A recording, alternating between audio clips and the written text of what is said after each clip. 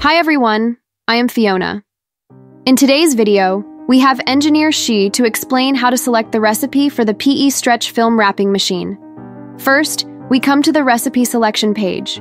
When we need to modify the recipe, we take the example in the video to modify recipe 1 to recipe 2. The specific operations are as follows. Click on the value of the recipe selection number. Enter the password on the inside of the electric control box door. Click on the value of the recipe selection number again. Input the target recipe number that needs to be switched. Tips. The wrapping machine supports up to four recipes. The flashing cursor at the bottom is the current selected recipe number.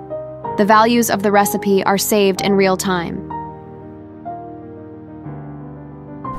For more information about EPS machine and EPS mold, please contact us by email or leave your comments below. I'll see you next video.